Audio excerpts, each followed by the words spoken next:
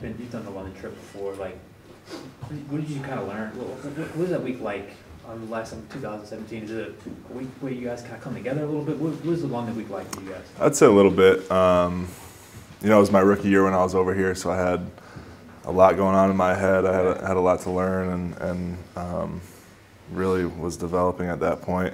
Um, but I think I think uh, having the whole team in the in the uh, hotel here can bring bring guys together and uh, a little bit of team bonding, if you will.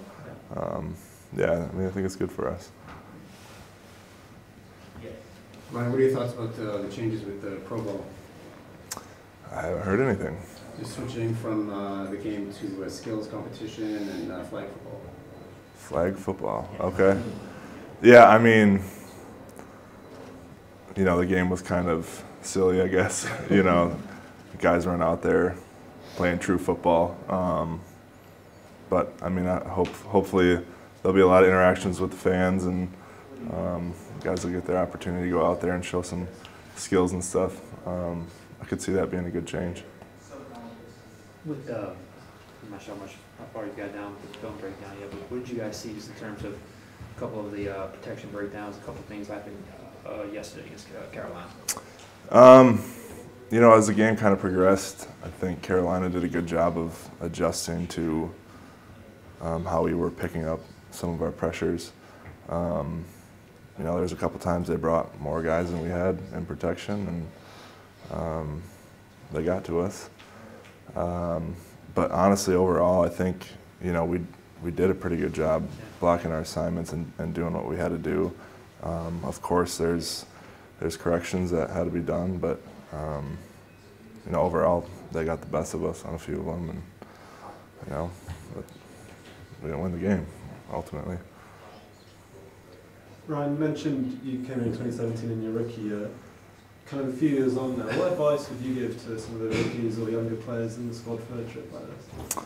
For a trip like this? Yeah, coming to London, you know, in their, early in their careers. Yeah, I think it's it's a time that you know you really, you really got to lock in and stay focused. It's easy to come over here and be like, oh, I want to go see all these different things in a different country.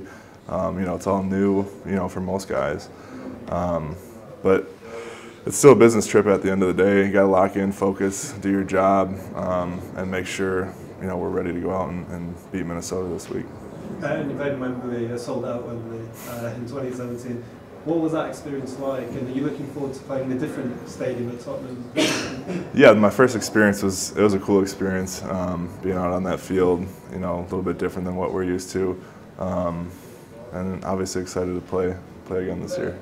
Is it quite kind of unique? If you get a chance to look at the crowd, you see fans in all kind of team jerseys, and actually they, they all cheer for everything, touchdowns, interceptions for both teams. Actually. Yeah, yeah. The uh, the crowd atmosphere is definitely different than what we're used to back home.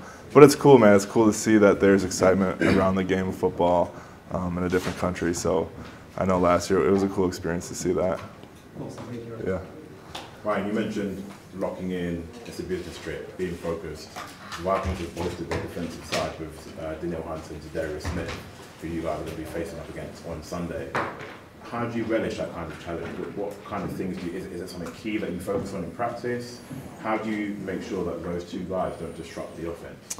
You know, it's a lot of individual player study. Um, you know, we'll go over this week and watch all their pass rush moves, what they're doing in the run game, um, and just study them, learn them, try to anticipate, um, you know, what we're going to get out there Sunday.